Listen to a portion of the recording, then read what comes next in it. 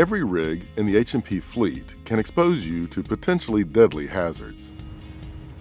Buffer zones, barriers, and barricades are designed to help protect you from these exposures.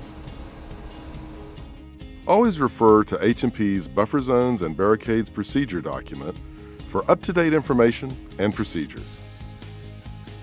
This document includes information about buffer zones and barricades during both drilling operations and rig moves. A buffer zone is an area surrounding a hazardous item or procedure that provides enough distance to keep you safe from the exposure. A barrier is a physical device used to make entry into a high-risk buffer zone impossible.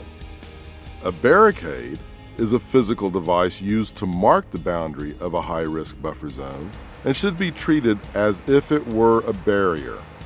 The barricades we use on our rigs are colored chains, plastic tape, panels, cones, and rails. They define the buffer zones for stationary exposures. However, when the exposure is not stationary, such as a vehicle that is in motion, then the buffer zone does not have a physical barrier defining it. H&P requires a 15-foot buffer zone around wheeled and tracked vehicles that are in motion. It's up to you to stay at least 15 feet from moving vehicles, but when handling tubulars, personnel will stand back at a safe distance from the tubular equal to or greater than the length of the tubular, 30 feet for drill pipe and 45 feet for casing. The color of the barricade chain, tape, or panel is important to understand. When these barricades are yellow, they define areas that can be entered with caution, only after being briefed by your supervisor. When the chain, tape, or panels are red, no access is allowed. Only authorized personnel may enter these spaces after the appropriate permit to work has been completed. Another important aspect of buffer zones, barriers, and barricades is that some are in place anytime the rig is on location, and some are temporary. Many critical operations will demand that you install temporary barricades that identify exposures that are only in place during the specific operations. Once the operation has been completed, the barricade can be taken down and stored appropriately. Yellow barricades will be installed around the following. Reserve or open top pits and the work area behind the backyard when trucks or equipment are being operated. The flare stack. All well cellars on site. The emergency descent line anchor. The catwalk or PDS. The rig floor during rough drilling and jarring stuck pipe operations. The red barricades that all rig classes share are the BOP deck and floor during BOP testing, cementing, and wire line logging.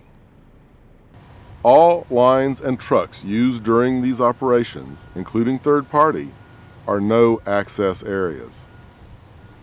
On Flex 3 rigs, red barricades are also used to identify potential serious incident or fatality exposures for electrical conduits around the skid system drag chain, and the MCC.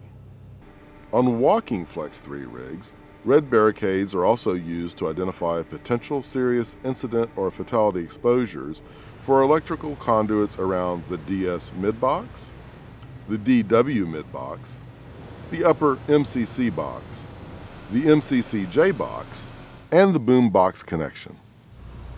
On Flex 5 rigs, Barricades are also used to identify potential serious incident or fatality exposures for electrical conduits around the MCC, the upper MCC, and the skid system drag chain.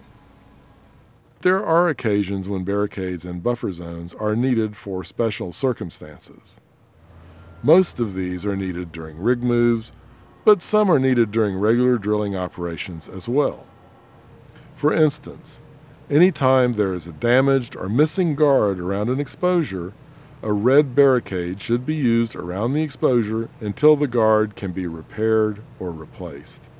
And there may be times when you need to work in the vicinity of suspended loads.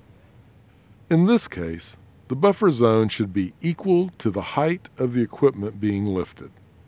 Taglines are always required to be used on suspended loads, and these taglines must be long enough to keep you out of the suspended load buffer zone whenever possible. You already know about the 15 foot minimum buffer zone around wheeled or tracked vehicles, but when a winch or bridle line is used, the buffer zone must be no less than the length of this line in case it snaps or releases unexpectedly. When raising or lowering skids, the minimum buffer zone is equal to the footprint of the equipment being handled. If there's a working crane on your rig site, anytime it's working, a buffer zone should be established inside the counterweight boom, and load swing radius. And there should always be a flagger present. When the mast is laid down during rig moves, a 20 foot buffer zone is maintained until the mast is trailered or raised. When your rig must operate in the vicinity of overhead power lines, install a red barricade marking a 20 foot buffer zone. The barrier locations chart in the change house and the driller's cabin will show you where all regular buffer zones, barriers, and barricades are located. Refer to these location charts and H&P's standards and guidelines for your rig's specific barriers and buffer zones.